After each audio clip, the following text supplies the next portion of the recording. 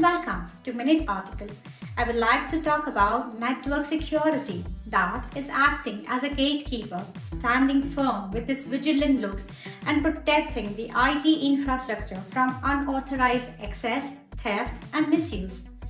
It is indeed strengthening the reputation of the organization in today's modern hyper-connected world.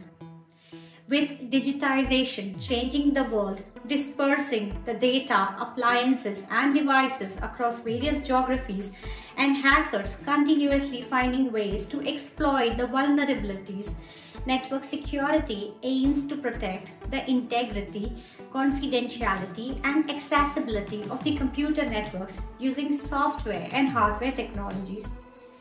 In this subdomain of cybersecurity, each layer is implemented using policies and controls revolving around the processes of authorization and authentication. Securing the computer networks using key tools like firewalls, load balancer, intrusion prevention systems, sandbox, and network traffic analysis. Network security protects the assets the integrity of the data, enhances network performance, and ensures secure data sharing.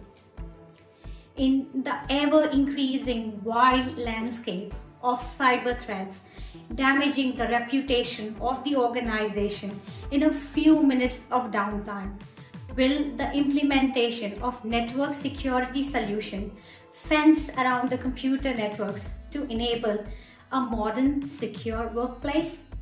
Your answer matters. If you like my articulation, please do not forget to like, share and subscribe to Minute Article. Next Thursday, I will be back again with some more new insights. This is me, Madhavi Desai, signing off.